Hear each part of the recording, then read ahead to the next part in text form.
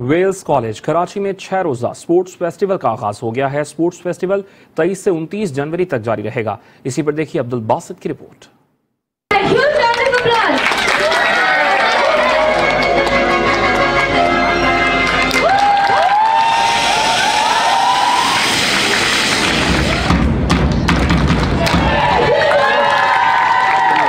छह रोजा Wales sports festival में सात खेलों के मुकाबले होंगे, जिनमें football, cricket, throwball, basketball, table tennis, chess और रस्साकुशी शामिल है। इवेंट में कराची के पचास ऐसी जायद कॉलेज और स्कूलों के 700 से जायद तलबा तालिबात हिस्सा ले रहे हैं। इवेंट का अफ्ताह ओलंपियन कमर इब्राहिम ने रिबन काट कर किया। उनका कहना था की ऐसे इवेंट्स होने चाहिए, जिससे बच्चों में टीम वर्क और डिसिप्लिन पैदा हो। स्पोर्ट्स की एक्टिविटीज़ होने की? आपको मालूम है, ये फ़िज़िकल एक्टिविटी होना बहुत ज़रूरी है।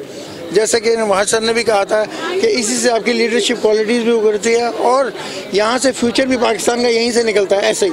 और ऐसे इवेंट्स होने और इतने कॉलेजेस का यहाँ पे पार्टिसिपेट होना ये बहुत ही खुशाइन बात है। वेल्स कॉलेज के सरपरस्त वहाज हुसैन का कहना था कि हर साल वेल्स ऐसे इवेंट्स कराता है जिसमें तलबा तालिबात शिरकत करते हैं। वेल्स स्कूल फेस्टिवल जो है पिछले तीन साल से हो रहा है हमारा अलहमदिल्ला थर्ड एडिशन हमारा है। इसमें हम शहर के डिफरेंट स्कूल्स एंड कॉलेजेस को हम इनवाइट करते हैं।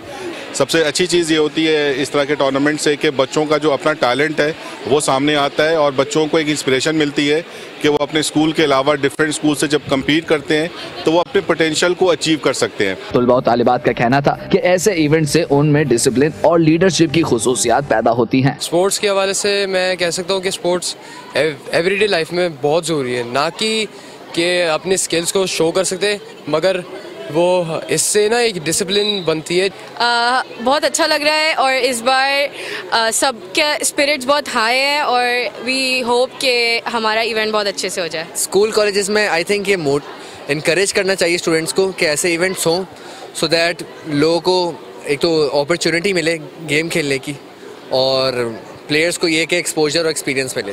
इवेंट के मेहमान खसूसी इंटरनेशनल प्लेयर मोहम्मद अली और मुबशर मुख्तार थे। कैमरामैन जाफ़र खान के साथ अब्दुल बासित जीटीवी न्यूज़ कराची।